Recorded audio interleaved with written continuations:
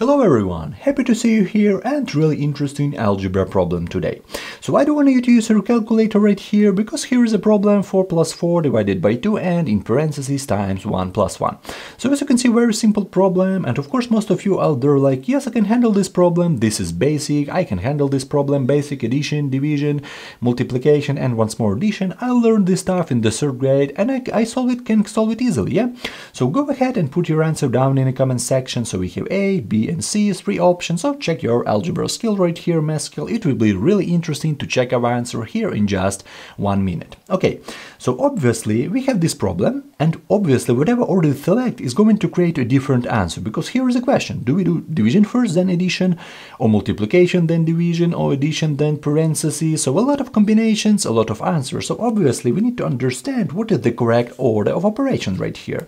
We have addition, division, multiplication and parentheses. So what about the first step? Addition, division, multiplication, or parentheses. So let's look at this PEMDAS order of operation. This is the main popular order of operation in the world. All internet libraries, scientific, graphing calculators works according to PEMDAS nowadays. Okay, so I take my red pen real quick and this PEMDAS works from the top to the bottom. This is our first step we need to understand, from the top to the bottom. This is our first step.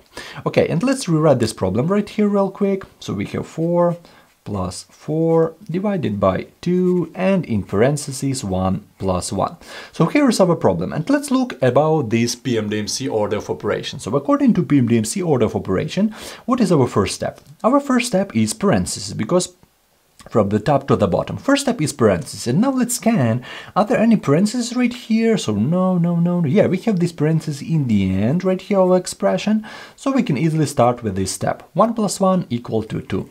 Really great. We don't have parentheses anymore. So I just rewrite this problem from the beginning. So 4 plus 4 divided by 2 and times 2. Okay, from this expression we have this one right now.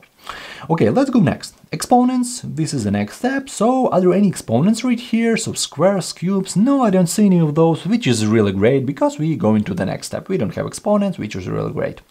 Okay, what is the next step? Multiplication. And a lot of students do this common mistake right here. They say, okay, multiplication, let's multiply this 2 times 2. But this may be the main common mistake right here, and a lot of students do this. Because a correct approach to this step is to take the same, the same order with division. So this is one group. Multiplication and division, this is one group. So now we need to scan where do we have division and multiplication. So let's scan real quick. So we have addition at first right here and we have division. Yeah, we have this part right here and we have multiplication right here. So this part that we're interested in is right here and now, what is, uh, here is the question. Do we do multiplication first then division or division first then multiplication? And here is the answer. We need to scan what is the first sign from left to right. The first sign from left to right, if we're talking about order, is this division. So this is our first sign from left to right. So we need to divide. If we divide this 4 divided by 2, this is equal to equal to 2.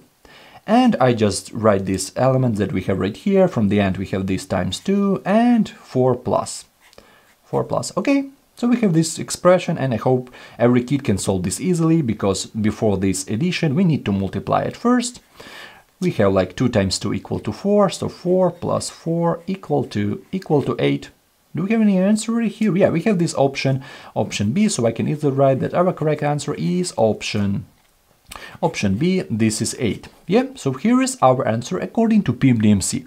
But a lot of countries, I know, a lot of countries use BODMAS right here and they they will have like completely different answer. I feel a lot of students, maybe um, maybe half of students uh, answered option A, yeah, because we multiply it first and then 4 divided by 4 equal to 1, so Really interesting approach. According to PEMDAS, my approach is option option B. But you can easily write your suggestion about BODMAS and you will have like option A or maybe 3 factorial. It will be really interesting. if You will have like option 6. It will be really interesting to read about it. Okay, if you made this error, I'm happy you made this because you won't make this again.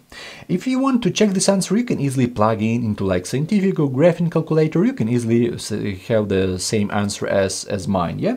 But uh, definitely uh, some uh, laptops or calculators works with uh, problems as you type it in yeah? So if you type it step by step they divide at first they add at first then divide then multiply then parentheses so it will be wrong answer eh? yeah?